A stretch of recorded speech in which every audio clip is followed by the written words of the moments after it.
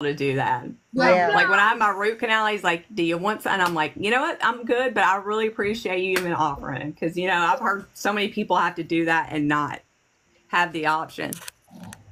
And after my surgery, when I was still in the hospital, I had them stop my IV, and the tea worked better. I had, and I was scared because I had just started drinking it, and I knew that they weren't going to put the IV back in my arm, you know. But I didn't. I drank it, and I was able to get up and walk the halls. I couldn't get out, out of bed until then, and they were surprised because they thought I didn't have anything, you know. And I, I told them, and so yeah. Yeah, you, the way that you explained that story is you were the nurses were shocked and amazed. yeah, that I was able to get up I'm and walk. walking around. Yeah, Dan, I'm in, I'm in Texas also. We, we don't have any issues here as legal.